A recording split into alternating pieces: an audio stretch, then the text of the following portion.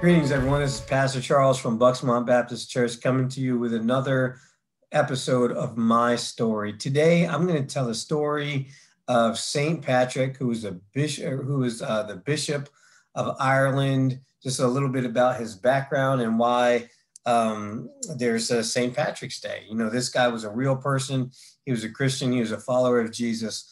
Uh, he was born around 372 A.D uh, probably about um, 350 some years after Jesus walked the earth. Uh, his parents, uh, uh, Patrick's parents, were actually Christians. They were leaders in the Christian community in his area. And uh, but he, like many people, many rebellious children, did not take their faith seriously. Uh, was not a follower of Jesus until one day a disaster actually struck uh, St. Patrick. He was on the seashore when some pirates came and um, they they uh, captured him and they sold him to a chieftain who made him 10 sheep. Basically, they sold him into slavery. And um, in his misery from being a slave, being captured, and brought away from his parents, Patrick turned to God. He wrote, or um, he said, I was 16 years old and knew not the true God but in that strange land, the Lord opened my unbelieving eyes, and although late, I called my sins to mind and was converted with my whole heart to the Lord my God. The love of God increased more and more in me with faith and the fear of his name.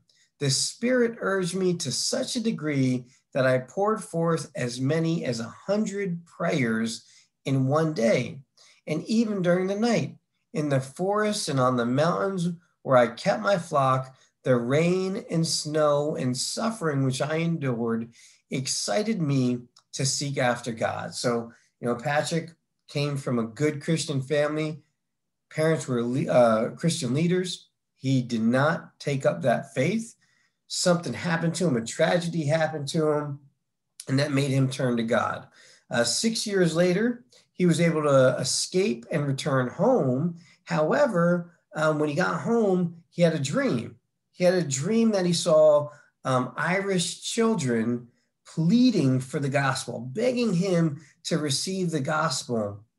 And in his dream, it's recorded that said, uh, you know, they said, oh, uh, you know, come back and um, uh, where you once were and, and, and, help us, right? And walk among us, um, I think um, is the exact quote and um, God's spirit began to to um, uh, dwell within him and uh, uh, really encourage him uh, to return to where his captors were, uh, to, to, to return to where he was captive and preach the gospel. Right. So he was kidnapped, brought, it was able to escape and go home, but then he just heard, he heard, he had this dream that God was calling him to go back to where he was a slave and preach the gospel.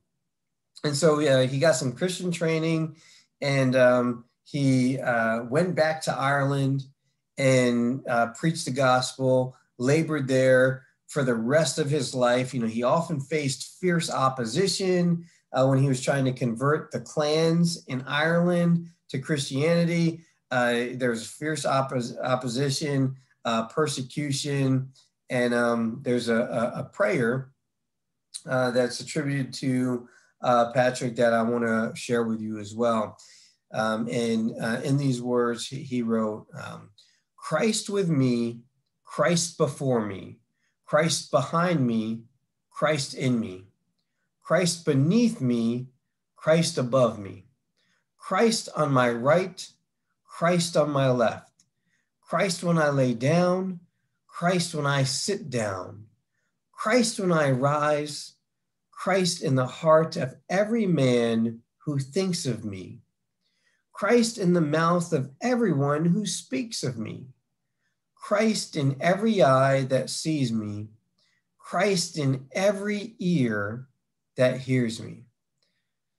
You know, just um, uh, uh, Patrick had this um, just thirst for God.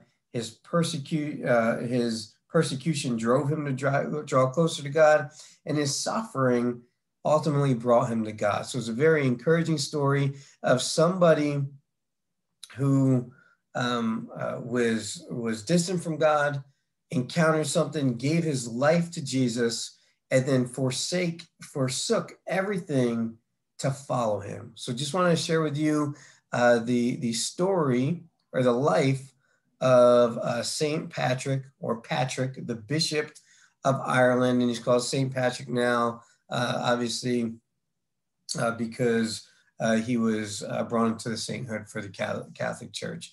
But uh, Patrick, the Bishop of Ireland, inspiring story. So I hope that it inspires you to live for Jesus, to know Jesus, and if you haven't yet, to make Jesus your Lord and Savior. At Bux-Mont Baptist Church, we want to help you any way we can. We want to be a blessing to you.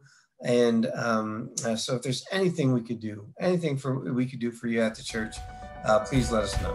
Take care.